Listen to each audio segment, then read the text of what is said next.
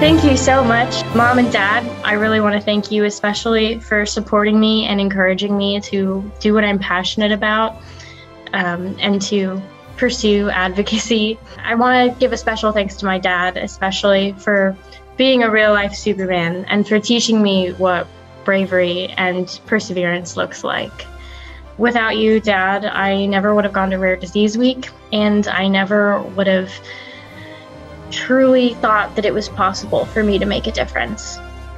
I also want to thank my other family members, especially Amethyst, Mariah, Jeremiah, Misha, and Shyla, um, and my friends for always being supportive and helping me through things. Uh, I've really enjoyed becoming more involved with the rare disease community over the past five years, and I feel at home here.